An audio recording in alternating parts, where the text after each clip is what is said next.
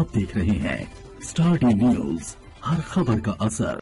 नमस्कार मैं हूँ अंजलि और आप देख रहे हैं स्टार डी न्यूज़ तो चलिए शुरुआत करते हैं आज की मुख्य खबरों से। प्रधानमंत्री नरेंद्र मोदी ने पश्चिम बंगाल के दक्षिण 24 परगना ज़िले के सोनारपुर में एक चुनावी जनसभा को संबोधित किया। इस रैली में प्रधानमंत्री मोदी ने तृणमूल कांग्रेस के सुप्रीमो ममता बनर्जी के वाराणसी से चुनाव लड़ने की वजह बताते हुए उन पर करारा हमला बोला। छत्तीसगढ़ के धुरी नक्सल प्रभावित बीजापुर ज़िले के तर्रेम थाना क्षेत्र के चोरनोगुड़ा जंगल में शनिवार दोपहर नक्सलियों के साथ हुई मुठभेड़ में पाँच जवान शहीद हो गए। वहीं बारह घायल हैं, एक महिला नक्सली का शव भी मिला है। वायनाड में अमित शाह का राहुल गांधी पर तंज, कहा उनके जैसा नहीं देखा राजनीतिक पर्यटक?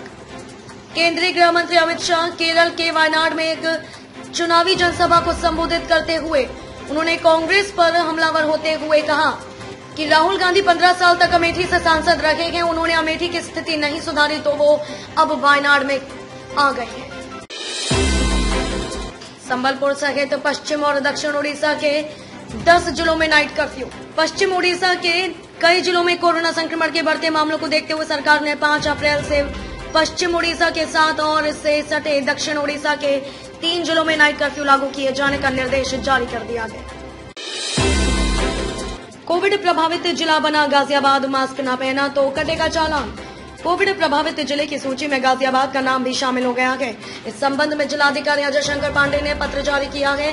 ज़िले में लगातार कोरोना संक्रमितों की संख्या बढ़ रही है। वर्तमान में सक्रिय कोरोना संक्रमितों की संख्या तीन है हजारीबाग वाले यशवंत सिन्हा ने बंगाल में टीएमसी की सत्ता में वापसी के लिए कमान संभाल ली है। हाल के उनके रवैये से ऐसा लग रहा है कि अब ममता बनर्जी उनके लिए अपना और बेटे भाजपा सांसद जयंत सिन्हा पराय हो गए शनिवार नो कर अभियान में शामिल हुए सैकड़ों युवा अधिकारियों, कर्मचारियों ने चलाई साइकिल। राजधानी रांची को प्रदूषण मुक्त बनाने के लक्ष्य को लेकर रांची नगर निगम की ओर से संचालित शनिवार नो कार अभियान का आज शनिवार को चौथा हफ़्ता है। अभियान ने अपने एक माह का सफ़र पूरा कर लिया है। नितिन गडकरी ने झारखंड में इक्कीस सड़क परियोजनाओं का किया उद्घाटन। वीडियो कॉन्फ्रेंसिंग से जुड़े सीएम हेमंत सोरेन। केंद्रीय सड़क परिवहन मंत्री नितिन गडकरी ने आज झारखंड में 3,550 करोड़ रुपए की लागत के कुल पाँच किलोमीटर लंबी सड़क परियोजनाओं का लोकार्पण तथा शिलान्यास किया। इस कार्यक्रम में मुख्यमंत्री हेमंत सोरेन वीडियो कॉन्फ्रेंसिंग के माध्यम से जुड़े। दादी से शराब पीने के लिए पैसे मांगे थे, इस पर दादी ने पैसे देने से मना कर दिया।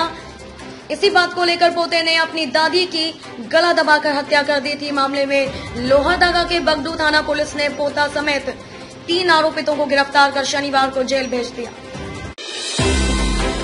एक बार फिर अहम मोड़ पर आ पहुँचे लालू यादव, राजद समर्थक बेचैन।